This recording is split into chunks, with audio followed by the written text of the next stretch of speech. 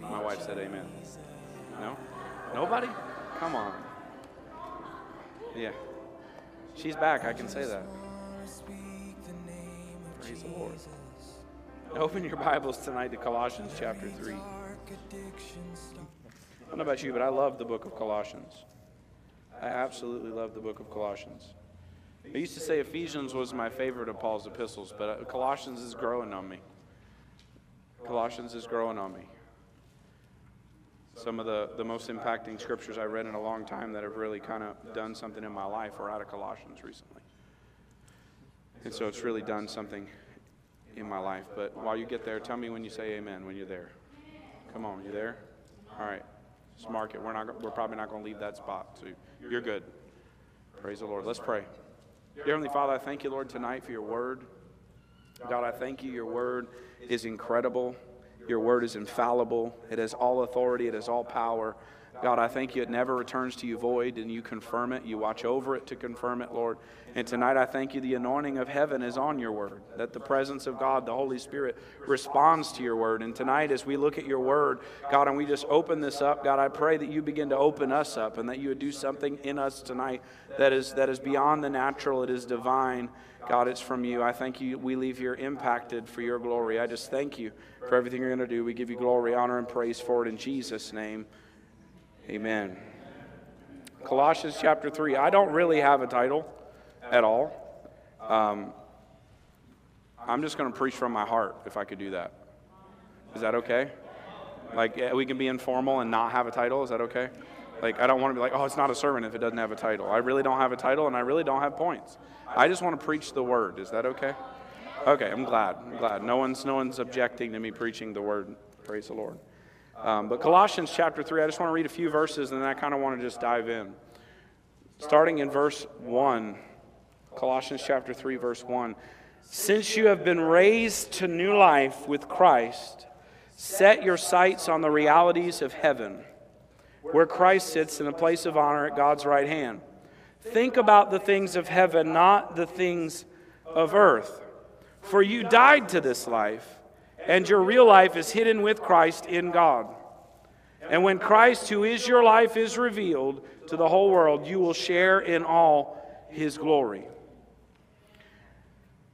Monday night, I think it was, right before prayer, we, I was just having a moment. We could have just started, I told everybody who's here, we could have just started music and I wouldn't have had to move. Like it was quiet. I just was in a zone. I was just receiving from the Lord. And he brought me, and you know how sometimes you just you're not planning on finding something, God just brings you to it. And He's kind of opened this to me, and I just got stuck in it. And I started, I saw a difference in phrases in this that really begin to do something in my heart. And I kind of want to focus on that a little bit, but we're going to set a foundation for that if that's okay. I kind of want to look at what Paul's saying and set a foundation, but I want to draw attention to the first statement he makes in chapter 3, where he says, Since you have been raised to new life with Christ. Can I just establish to start, just to start, that Jesus came to give you new life. Does everyone agree with that? Jesus came to give you new life. This was his plan since Genesis chapter 3. Since the fall of man in the garden in Genesis chapter 3, this was God's divine plan that Jesus would come and bring new life. Now, I didn't say he would bring something new to your life. There's a big difference. I said he came to bring new life. Big difference. We're going to kind of dissect that a little bit. He didn't come to bring something new to your life, he came to bring new life. And on the surface, that is such a great word. Pastor Matt said, Jesus is going to bring something new to my life. And that makes everyone excited until you start digging into what, what Paul is really unpacking in this passage and what the precedent he's really setting because Paul has a tendency in a lot of his epistles to really build a foundation and then somewhere in the epistle he changes, he transitions. In Romans, he does that building up all the way to Romans chapter 8 and then he transitions in Romans 8 1. You familiar where there's no condemnation for those who are in Christ Jesus? He, he transitions in Rome, the whole first eight chapters of Romans. He starts building faith and how we are saved and starts establishing our identity in Christ through faith. And then in 8 1, he transitions, and then the rest of the epistle is completely changed. Paul does something very similar right here at Colossians chapter 3. He's been setting a precedent in his letter to the Colossian church for the first two chapters. And then on verse 5 of this chapter, Paul changes. Really, verse 1, but really, verse 5. He changes. 1 through 4 is kind of the transition. And so he says this statement. He says, So since you've been raised to new life, Jesus didn't come to add something new to your life, he came to bring new life. What I mean is, Jesus didn't come to bring a remodel, Jesus came to bring a complete reconstruction, if I could say that. Many people approach God like God's going to take what they have and He's going to add to it. God's not taking what you have and adding to it. God wants to tear down what you have and build something new. Okay? But the teardown is never the fun part. No one enjoys the deconstruction unless you're the one, unless you're my son and you love just destroying things. You try to build Legos with my son, and I think he has more fun destroying them into pieces all over the living room floor than he does building anything. The, de- the deconstruction of something is not, is not the fun part. If you're the one, if you're the house, that's not the fun part. But Jesus didn't come to add an extension onto what you have. Jesus said, I want to change the floor plan. Jesus said, I need different bedrooms. I don't like where the living room's at. I need an open concept. You're too closed off. I need an open concept. Come on, can I use house turns? My wife was a realtor. I can do that. She was. She ain't anymore. God wants an open concept. He wants you open to his presence and open to his word. But, but maybe your house ain't structured that he could make that happen in your house. It needs new bones. It needs a new foundation. It needs something new. So he's got to tear it down and build it up. He came to bring new life, not a remodel, a full reconstruction. 1 2 Corinthians 5:17. For all who have come to Christ are what? A new creation. Old things have what? Passed away, and all things have become new. When you look at that scripture, the word new in the, if you look at it in the in the real Greek there, it actually means like a new kind, one that's never existed before. So Paul, God, Paul is illustrating that God's not even taking the old model. God, God's not even designing the new model off the old blueprint. It's nothing that's ever existed before. He's always, this has always been his plan since the fall in Genesis 3 was to bring new life. 1 Peter chapter 1, verse 18. Peter writes this. He says, For you know that God paid a ransom to save you from the empty life you inherited from your ancestors. Jesus came and to establish new life and to remove the inheritance you did have so that he could replace it with an inheritance he has. Amen? New life. John chapter 10, verse 10. You know this one. For the thief comes to what? Steal, kill, and to destroy. But I've come to what? Give life and life more abundantly. If you read in the Amplified, it says more abundantly till it overflows. Jesus is illustrating his point. I came to bring new life. But can I say this? Jesus never intended to partner with the old. Jesus never intended to partner with the old. Matthew chapter 9, Jesus makes this statement. And if I could have titled this message, I probably would have titled it, You Need a New Wineskin. But I mean, we'll just leave that alone. We'll see what the Holy Spirit wants to do. But Matthew chapter 9, Jesus makes a statement that oftentimes I've read over, and it seems it, it's hard to grasp the concept, the context here of why Jesus would make that statement at this particular moment. But Jesus makes this statement, and it's so important. He says in verse 16 of Matthew chapter 9, he says, Besides, who would patch old clothing with new cloth? For the new patch would shrink and rip away from the old cloth, leaving an even bigger tear than before. And no one puts new wine into old wineskins, for the old wineskins would burst from the pressure, spilling the wine and ruining the skins. New wine is stored in new wineskins so that both are preserved. Jesus is illustrating that he did not come to partner with the old. Jesus is not interested in what was, he's interested in what will be when he enters into the picture. Jesus is interested in what was. See, Jesus can take any history and build a new future. We just sang about it, how Jesus changes our history and changes everything. So, Jesus can take any history and build a new future off of it. Jesus cares not about the past. All he cares about is what he's going to do in you moving forward. That's what he cares about. So many people get focused on living life in the rearview mirror. Jesus doesn't care about the rearview mirror. When you come to Jesus, He said, I paid for the rearview mirror. Let's focus on where I want to bring you. He's focused on bringing new life, but He doesn't want to partner with the old life. See, see, many people in the church today, this is where they have a problem. It's because when they come to Jesus, it's, it, let me say it this way it's easy to embrace Jesus as Savior, it's not so easy to embrace Him as Lord. It's very easy to embrace when the doctor says you have something wrong, but I have an answer. Here's the cure. Everyone's excited to receive the cure. But if the same person, I'll use myself for example, because I know, because you can tell I am not the most athletic person in the world. But if it would be a whole lot easier to receive that, and he just said, "Give, take medicine, and it will fix the problem," than for someone to come in and say, "Matt, I have a new diet plan for you. You need a lifestyle change." Everything like that would be totally different for me.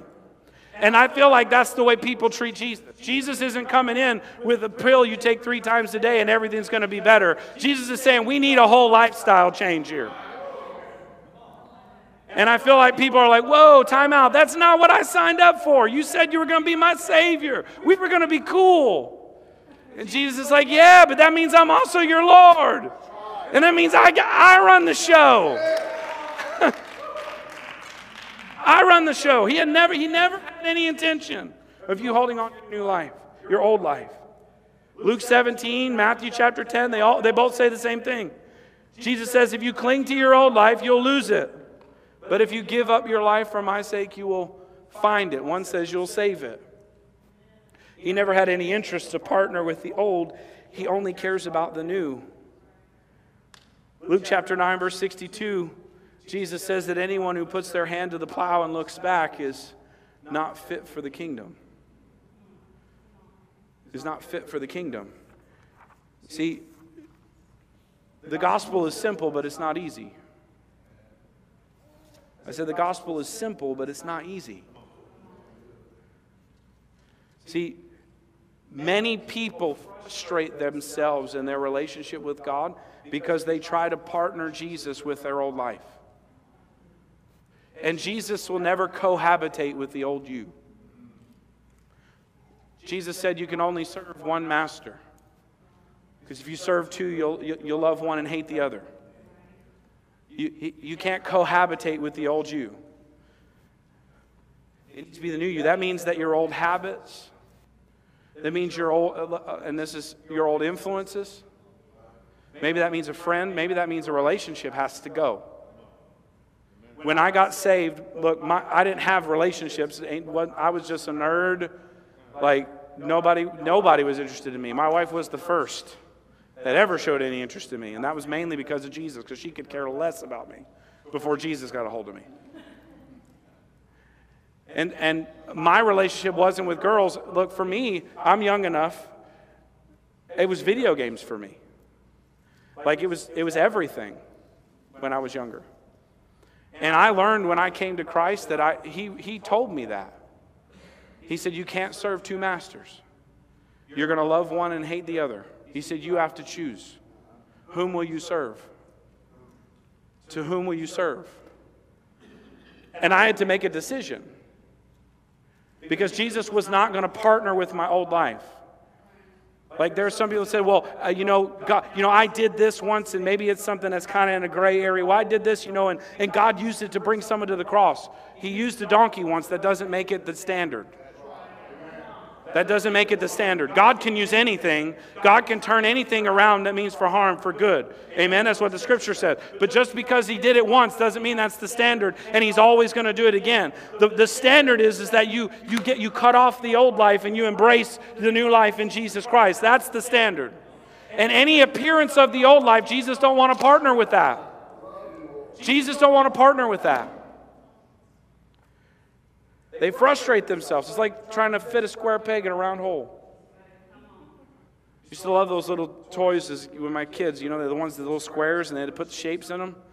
And they were little enough where they couldn't figure out how to. Sh- and you, I would get frustrated for them because they're trying to make it work and it just don't work. And I'm frustrated for them because I'm like, man, just give them a win and I'll put one through the right shape. This is what I feel like most people are in their relationship with God because they're, they're trying to fit a square peg in a round hole. It isn't going to work. Jesus didn't come to partner with our old life, He came to give new life. New life. That's the promise to us. That no matter where we are, no matter what we've been through, no matter what the history looks like, that when we come to the cross, when we are invited to the Savior, we're invited by invitation, all of us. And when we come to Jesus, Jesus, we don't just encounter Jesus, He encounters us. And then when that happens, something changes. And then, then Jesus wants to remove the old and replace it with something new. He said in the Old Testament, He said that I would take out your heart, your stony heart, and replace it with a heart of tender flesh. There was a removing of the old to bring in the new. Jesus never wanted to say, Oh, you can keep that, and then I'll just I'll add to it. New life. That is the promise. That we have new life, we have hope, we have a plan, we have a future in Jesus. That is a beautiful promise. And many people hold on to it. The problem is they don't want to do the, the hard part. And let's let go of the former. To let go of the former. Oh, I'm speaking to somebody in here. Paul makes the statement as you go on in Colossians chapter 3. We're still in those first four verses of Colossians 3, but he goes on after that and he says, To set your sights on the realities of heaven where Christ sits in a place of honor at God's right hand. Think about the things of heaven, not the things of earth. Paul is establishing that after this happens, everything changes. That before you encountered Christ, you couldn't possibly set your sights on the realities of heaven. You couldn't possibly think about the things of heaven because you were so absorbed with the things of earth and the things of your life. But when you accept, when you embrace new life in Christ, all of that changes. All of that changes. But there is a, there is a process that we have to partner with to make that change. Jesus doesn't just come in all of a sudden and everything instantaneously. Has anyone figured that out? There's work to be done. You agree? There's work to be done. And Paul is telling them because this happened, now you need to set your sights on the realities of heaven. There's work to be done. You've got to change. You got to change about what you think about. Let me let me say this because he goes on to say make a very interesting statement, and he, he makes it in different ways. And this is where it kind of it kind of caught me. In verse three, he said, "For you died to this life." So Paul, Paul kind of grabbed me when I see this because I, I, have it squared off in both little phrases. Because in verse 3, he says, You died to this life. But then in verse 5, he says, To put to death. Well, why do I put to death something that I've already died to?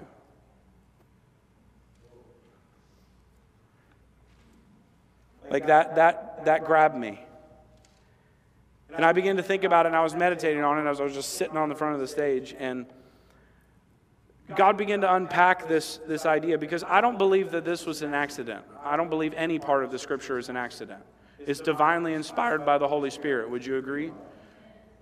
I don't think that, that anything in here is, is, is completely an accident in any way, shape, or form. And so Paul, Paul makes this transition in verse 5 to change the topic. The first two chapters completely, Paul is establishing who we are.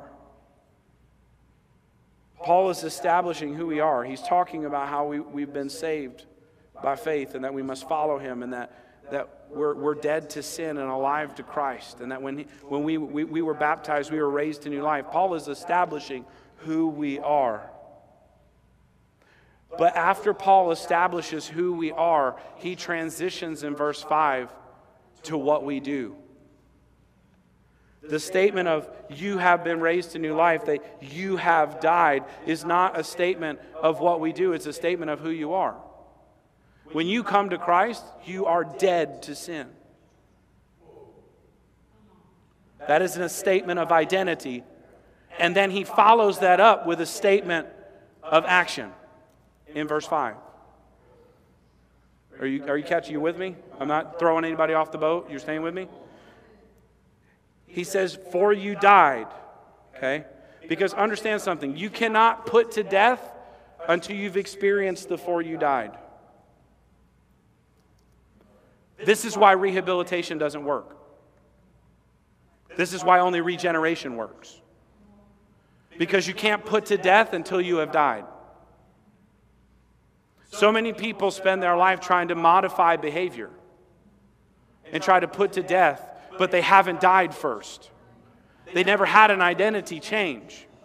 Behavior doesn't come as a result of your modification, behavior stems out of an identity that you believe in your heart. Behavior is a symptom of a greater problem. Paul is establishing in the first two chapters that your identity is that when you came to Christ, you died. So, because you died, now you put to death. Because you are not who you used to be, now you do this. Not because I said modify your behavior to look a certain way. You do this because this is who you are. It's who you are. Paul came to bring new life, he came to, to transform. This is who you are. Modifying behavior is like putting a new patch on old clothing. It'll eventually just fall off because the patch is only as strong as the cloth around it. That's why modifying behavior doesn't work. Jesus is not interested in modifying your behavior. Jesus is just interested in changing who you are. Because if he can get a hold of who you are and he can help you understand who you are, the behavior will follow. It will follow. You get a new job.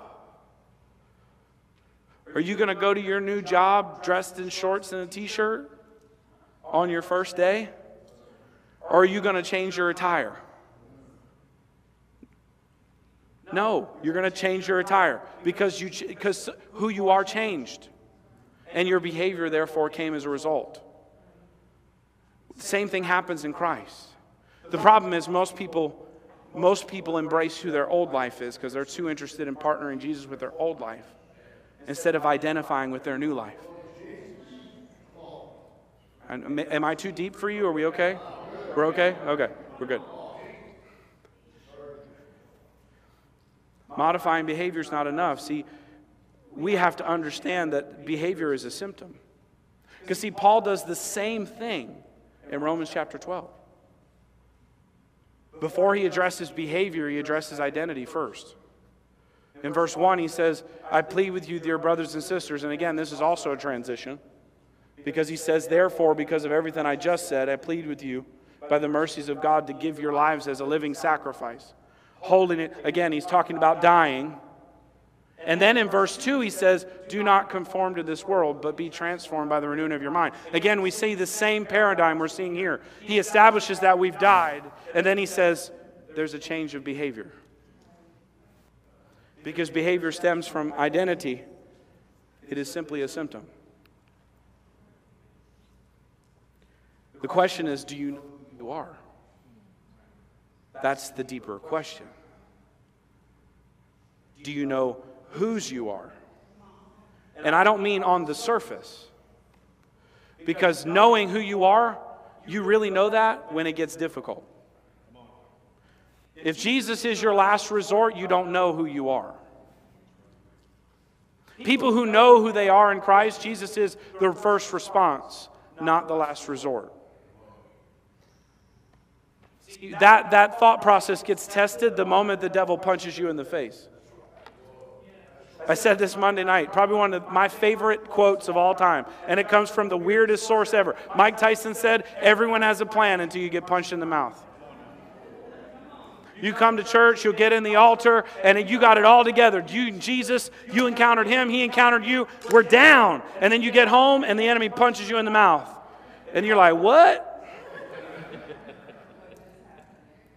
When you take a lick from the enemy, you'll find out whether or not you know who you really are. Because if you know who you are in Christ, something in you will stand up, something in you will get a backbone and say, This is not who I am. The Bible says the righteous fall seven times, but they get back up. Those, the ones who know who they are. Because though righteous may fall, they realize, no, that's not who I am anymore. I died to that way of life. That is not my identity. Therefore, it will not be my behavior.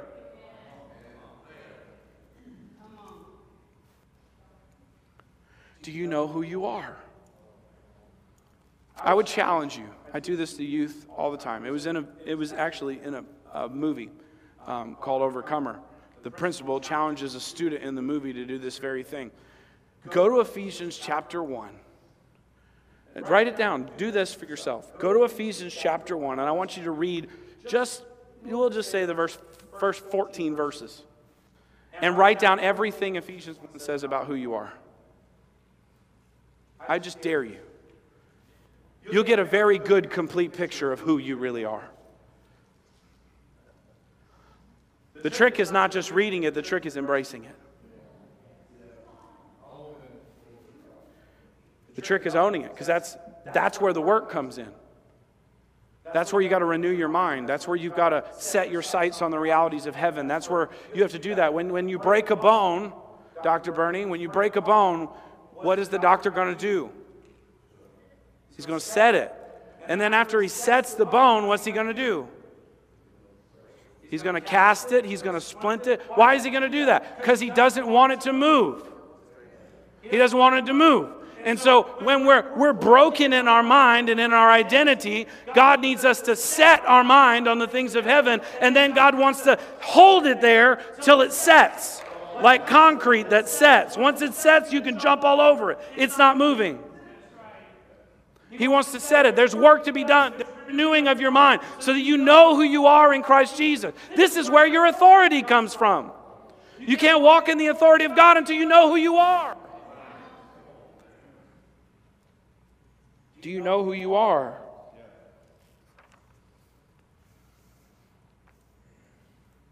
Many people have been struggling with lots of things. They say, Pastor Matt, I, have been struggling with all this stuff in my life, and I come to the altar, and, and I, I man, I'm, I'm, getting in the presence of God, and, and I'm just, I just keep circling the new, the, the, the same mountain. God, I feel like God is saying tonight, you can come to the altar and get new wine all day long, but God's really offering you a new wineskin. You can come to the altar and you can get wine, but you've got a cistern that's got cracks in it, Jeremiah said, and it'll never hold any water. God's not, God's saying new wine in this case isn't going to fix you. You need a new wineskin. When you get a new wineskin, then I can fill it with new wine. But so many people just want to get in the presence of God. Like, like that's the only answer. I just get in the. No, maybe you need to let go of your old life. Let go of your old life. Stop trying to make Jesus fit with the old you.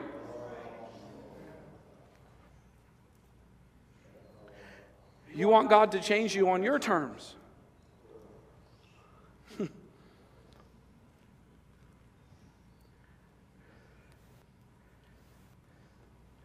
Jesus done already purchased a new house, but you're still living in the old one with the leaking roof.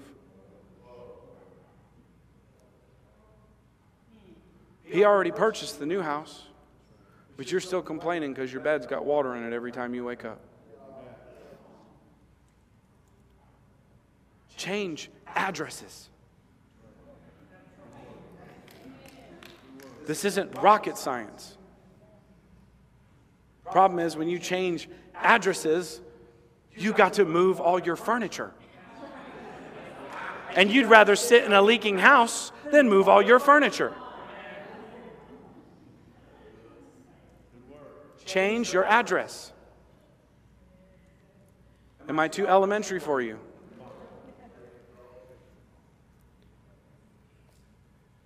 Behavior is just a symptom of a wrong identity. You've got to know who you are. You've got to stop believing the lie of the enemy.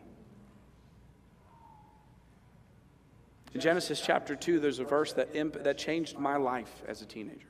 And look, it doesn't even really even pertain to this on the, in this literal sense, but when I read it, it exploded on the inside of me, and God changed me forever. When you read the encounter that Adam and Eve had in the garden, and they had just sinned, the Bible says that they were hiding from God. But God shows up looking for them. And then they step out because they've been hiding from God, and they said we were hiding because we were afraid, because we were naked. And then the next statement that God says wrecked my life. He said, Who told you you were naked? I just want to ask, who told you there was something wrong with you? This is what God told me. He said, Matt, who told you there was something wrong with you? How do you know that wasn't God's original design? Because that was God's original design. And I began to understand that, you know what? For too long, I've allowed everyone around me to form who I am instead of the one who already formed me.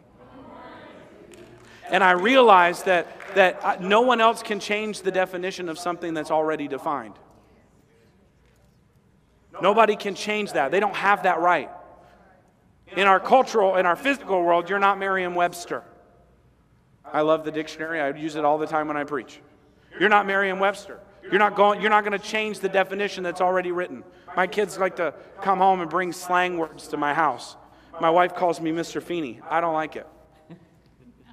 My wife, my, my daughter came in one night and she said, Dad, that was bussin'. I said, Excuse me? I said, Young lady, we are not going to talk like that in this house. She just looked at me. I said, There are about five that I can think of off the top of my head, words already in the English language that you could use. We're not making up our own. But I feel like that's the world we live in right now. God's already defined it, but we've decided we're going to make up our own.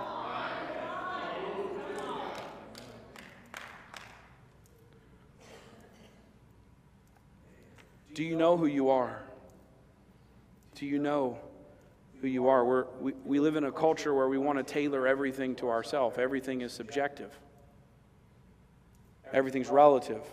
I want a custom home. I want, I want my TV cable a la carte. Remember when we used to buy a TV plan? You just got whatever 60 channels they gave you, and you just spent an hour trying to find something that was good? Now you want your TV services a la carte because I don't want that channel, I don't want that channel. Oh, but I want that channel, and I want that app, and I want this subscription. but see, all of this has come into our relationship with God. Well, God, I, you know, I don't, I, I want my services, I want God to be a la carte. It sounds dumb when you say it, but people do it. Well, God, I really don't like this part of it. God, you said that I had to get rid. Nah, I don't like that one. I want this one. You said new life. Yeah, that's great, but not. We're not going to get rid of that.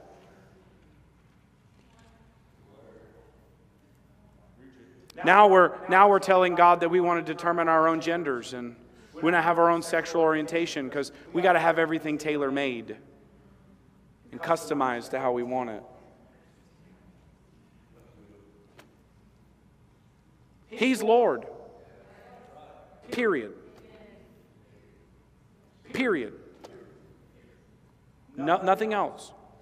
That means you don't get a say. I'll just leave that there. You don't get a say. Paul writes, For you have died. He's establishing identity. Identity. But then he transitions in verse 5 and he says, So to put to death. He says, see, that word so, it's a two letter word, but in the context of this passage, that word so is so important. No pun intended. It's so important. Because the word so is really saying because of, or therefore, or consequently, or for this reason. That's what it's saying. So if you were to say that, he's saying, for this reason, put to death because you have died for this reason. Because you've died, consequently, you do, you do this. Because who you are changed, therefore your behavior changes. He, he makes other statements. Later on in chapter 3, he says, You used to do these things in verse 7 when your life was apart from the world, but now Again, he's establishing that your identity changed. That was the old you. This is the new you. He says in verse 9, For you have stripped off your old sinful nature. Verse 12, he says, Since God chose you, then he says, You must. Identity before behavior. Identity before behavior. So put to death. Paul uses this same phrase in Romans chapter 8. God's consistent, His word is consistent. That's why it's so amazing. In Romans chapter 8, Paul says the same thing in verse 13. He says that if through the power of the Spirit you put to death the deeds of your sinful nature, you will live. But he says in verse 12, just before that, he says that you're no longer obligated to do what your sinful nature urges you to do. This is very important. Because this is where we differ, in, in my opinion, okay, and what, what I interpret. I could have a debate with somebody about this, but in, in my interpretation, this is what separates the once saved, always saved conversation. It's right here. Because Paul establishes that when he came, he set us free from the law of sin that leads to death. But then he says in verse 12, he doesn't say that because, because he, he did that, you don't sin no more. He says that you no longer have the obligation to follow. That means I have a choice. That's exactly what that means. That means I have a choice. That means that I was in a jail cell. Remember Paul and Silas? Midnight. They're praising the Lord. Whole room shakes. The doors open. Shackles fall off. Paul and, Paul and Silas never leave the jail cell. Everyone else is off and running. The, the jailer's about to kill himself, but Paul and Silas are still in the jail cell. I know the context is different in this, but go with me. Many people sit in church, the cell door is wide open, they're still sitting inside. They've made the choice that they're going to live in that cell, even though the door is wide open. They don't have the obligation. See, before you encountered Christ, you had no choice. It, your sinful nature was it. All you had was sin. But when you came to Christ, you died to that. And now you have a choice. You're not obligated to go that way. If I, I can partner with life if I want to, or I can embrace my new life in Jesus Christ. He leaves that choice to you. But he's very clear in Romans 8 if you choose to let sinful nature rule you, he says it leads to death. This is where I, it breaks this once saved, always saved for me. Because if I live in my old nature, he says it's death. But if I put to death my sinful nature through the Holy Spirit, it leads to life. It leads to life. He doesn't want to partner with the old, he wants to bring in something new. Paul uses, and I'm finishing up because we're almost done. Paul uses some interesting phrases in the New Testament that kind of illustrate a similar point. Ephesians chapter 1, Paul says this He says, I, a prisoner for serving the Lord, beg you to live a life worthy of your calling. For you have been called by God. He said in 2 Thessalonians 1:11, we keep praying for you, asking that God will enable you to live a life worthy of his call. Then he says again in 1 Thessalonians chapter 2 verse 12, he says we pleaded with you and encouraged you and urged you to live your lives in a way that God would consider worthy for he called you. So the question in this sentence is what is the call? Because the context of those scriptures doesn't mean the calling on your life to do ministry. You could certainly pull that out of there if you want, but that is not the context. The call Paul is referring to is your call to follow Jesus, your relationship with God. There is a way to live worthy of that call. Again, Paul said, You died, now put to death your sinful nature.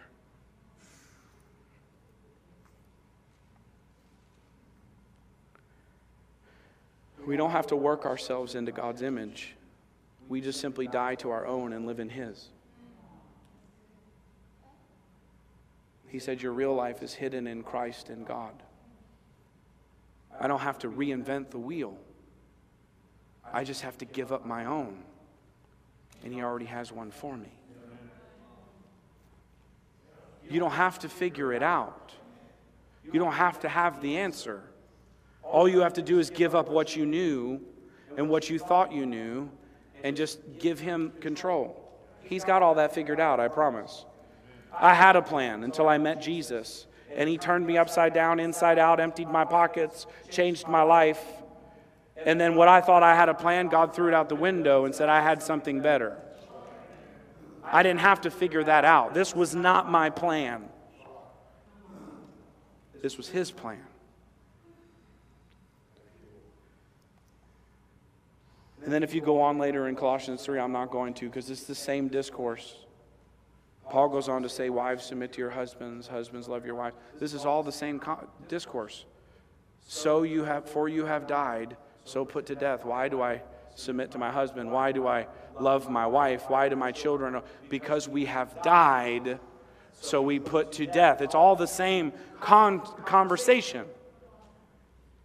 All of this flows out of the identity God established when we encountered Jesus Christ.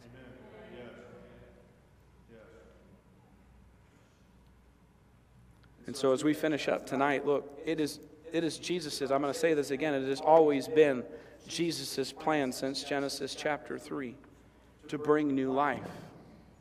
That has always been his plan. But he never intended to partner with the old.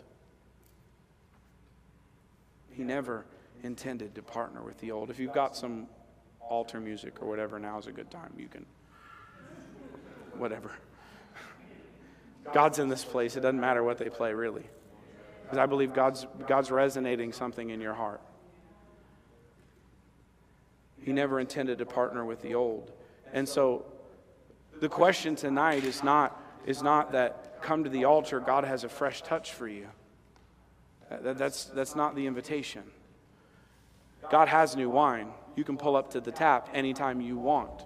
He said that I could come boldly to the throne of grace and receive.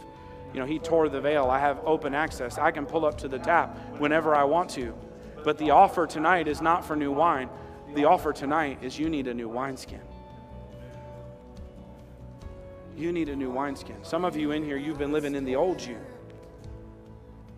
and thinking that a little dab or a little bit, a little touch from Jesus was enough, but you've got, you need to let go of what you were. And that might mean some tough decisions. That might mean you might have to cut off some influences and some friends. That might mean a relationship has to end. That might mean that the entire trajectory of your life needs to change. I don't know. But God's offering a new wineskin. And when you get a new wineskin, God will fill it with new wine. And so tonight, I believe I'm speaking to somebody. I believe I'm speaking to someone. Don't know who you are? Don't need to know. But you know who you are. You know that God's speaking to you. And tonight, this is where you need to be. You need to be right here on your face before God because you need a new wineskin. You can't keep living in the old wineskin because everything just keeps leaking out. Your behavior is just a symptom of your identity. You have to know who you are in Jesus Christ. So the altar is open if you can't already tell. If you need to be here, you need to be here. This isn't anything formal. This is your church. This is your house. This is your place. You find a place at your altar so that God can change you. God, we need to search our hearts tonight. God, I'm done trying to partner Jesus with the old me. It hasn't worked and it won't work. I can try it over and over and over again, but the same result will happen. It won't work because Jesus will not cohabitate with sin. He will not cohabitate with the old you. He will not cohabitate with that. He won't partner with it. You can't serve two masters. The Holy Spirit says today choose today who you will serve. Choose today who you will serve. You must die so that you can live in Him. Is there anybody else that you need to be in this altar? You can turn that music up. You need to be in this altar. It's not too late.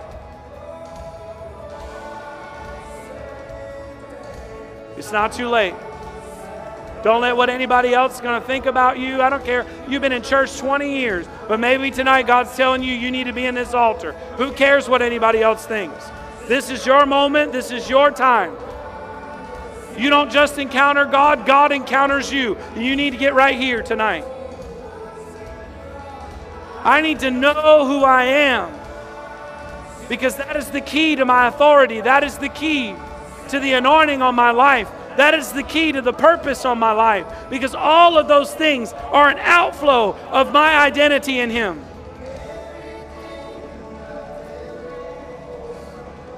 We give our life tonight. God, as Romans chapter 12 said, to lay our lives down as a living sacrifice, holy and acceptable unto you. This is your reasonable act of worship. And so, God, tonight we lay our life down. God, and we say we want to be made new. We want an experience in 2 Corinthians 5:17 to its completion tonight. For all things have passed away, and all things have become new. God, I want to know tonight that I have died with Christ. And I'm alive in God. God, I need to change the way I think. God, I need to let you transform my mind. God, I need to embrace the calling and the identity that you have for me. I'm not the former. That is not who I am anymore. That is not who you called me to be. I'm adopted. I'm redeemed. I'm for, I've been purchased with a price.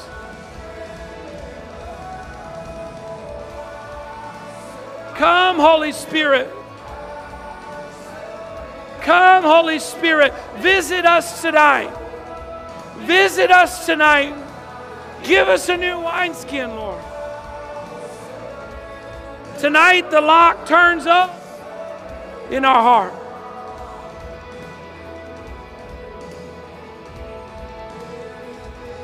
Come on, press in. Press in, press in. Get everything He has for you tonight. Get everything He has for you tonight. Don't worry about the time, it's still before 8. You just keep pressing in. We're early. You get everything God has for you. This is your moment. Don't leave here the same. If you leave here the same, it's on you. It's not on Him. He's here. He's here for you.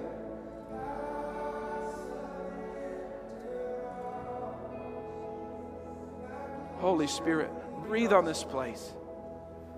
We surrender. Breathe on this place, Holy Spirit. Breathe on this place, Holy Spirit. Come on, He's here right now. You don't need anybody to lay hands on you. He's here right now.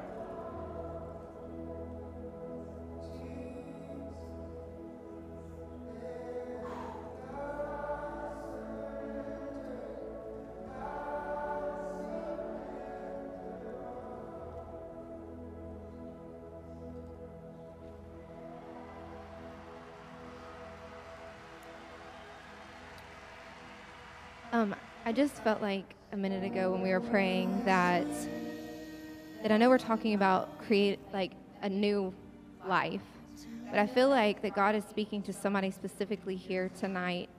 And the scripture just keeps coming over and over in my mind to create in me a clean heart, O God, and renew a right spirit within me. And I think sometimes you've been made new, but your heart has been broken, it's been damaged, it's carrying a lot of shame and a lot of guilt and a lot of things. And because of that, we begin to operate in some of those things that he was talking about because really you just need a new heart transplant. You, you need something new on the inside of you to be clean, to be pure, to be holy, to be the way he created you anew. And so I don't know if that speaks to anybody here tonight, but, but again, I just believe that scripture is for someone to create in me a new heart, O God, and renew a right spirit within me. Because we can't walk in a new nature and have old ways of thinking. And you can't walk in a new nature and have old hurts and old habits and old things that are constantly driving you and directing you because there's a heart in the matter.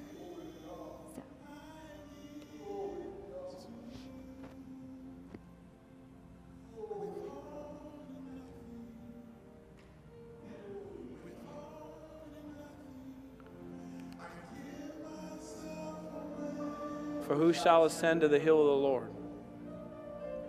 But him who has clean hands and a pure heart. God's inviting you.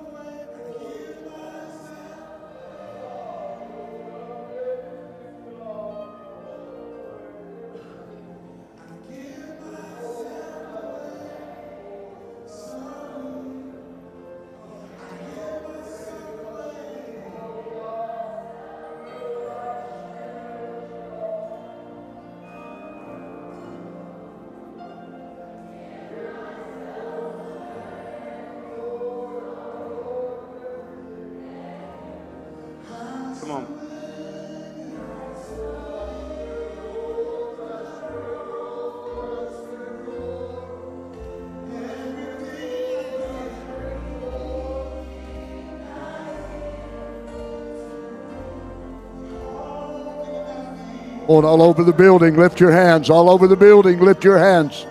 All over the building. If you mean it, I want you to express it to Him. Withholding nothing right now. Withholding nothing. Get real. Open your heart right where you're at. God, withholding nothing. You supplied everything to make me a new creation. All I got to do is surrender the old. I just surrender the old, God, and I receive the new. Oh, God, I give myself away. I give myself away, every part of me, God. I hold on to nothing, God. I hold on to nothing. You paid for everything with a price, Lord. I surrender all.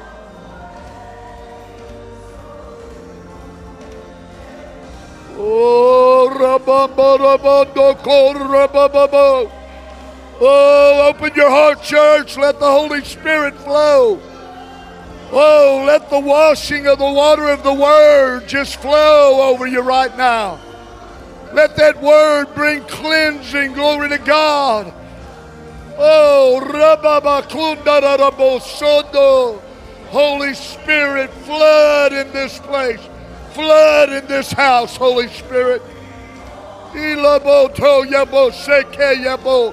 Oh, glory to God. Glory to God, glory to God, glory to God. Withholding nothing. Oh. Come on, let him know. Let him hear you, church. Let him hear you. All I want, make that real. Make it real between you and God. It's all I want, Lord. It's all I want. It's all I want. God, that's all we want in this house, Lord.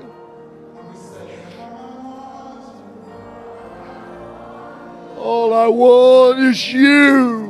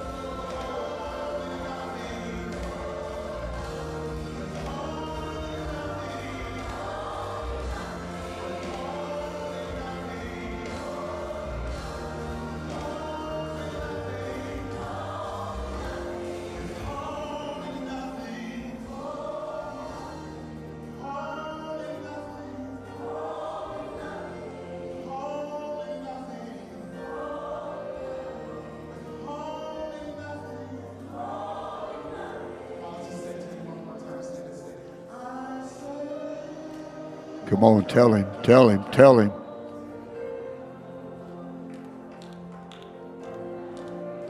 It's all about him.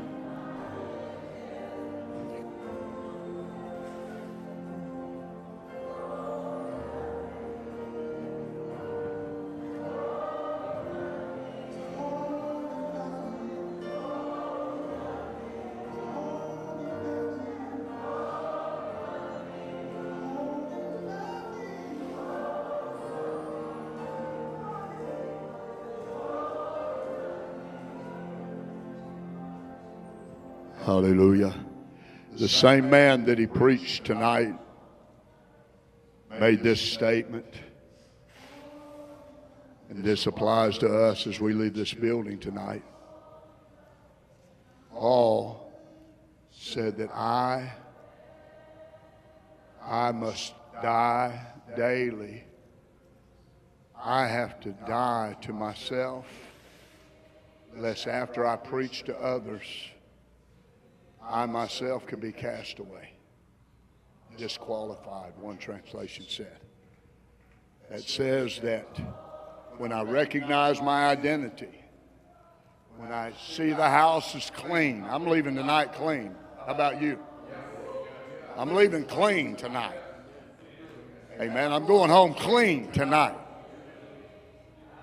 But the enemy's going to try to punch you in the mouth, as Matt said. I'm not the only violent one in here preaching. But he said, I have to die daily. So you're going to get up tomorrow, and tomorrow you're going to inform the devil that you put to death. Why did you put to death? You put to death because Jesus helped you die to yourself, your old man, and now you're resurrected in your new man. So today, guess what, devil? You might have a plan, you might have a scheme, you might have something. You come too late. I've been changed. I'm a new creation. Old things have passed away. All things become new. Oh no, but you remember you, uh-huh, I remember. He's dead. He's dead. This is a new man. Amen. A new man. And church, as we lift ourselves into the position of where Christ has created us to be, we're going to begin to be fruitful. We're going to begin to multiply.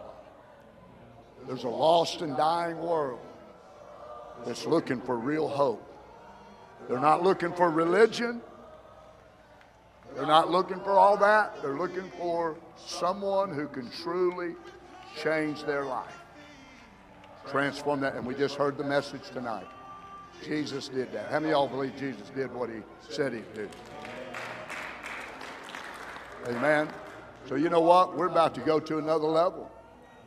Amen. Because of re- realizing this is going to take your personal worship life to another level. Some of you guys are about to worship at your house. I know there's some worshipers in here that worship at their house. And I already hear I already hear the stories. Amen. Children worshiping in the house, talking about the Holy Ghost, all that, but it's going to happen some more. And the more that it happens in the house, when we gather at the house, there will be an expression of that. Amen. It won't be like priming the old water pump.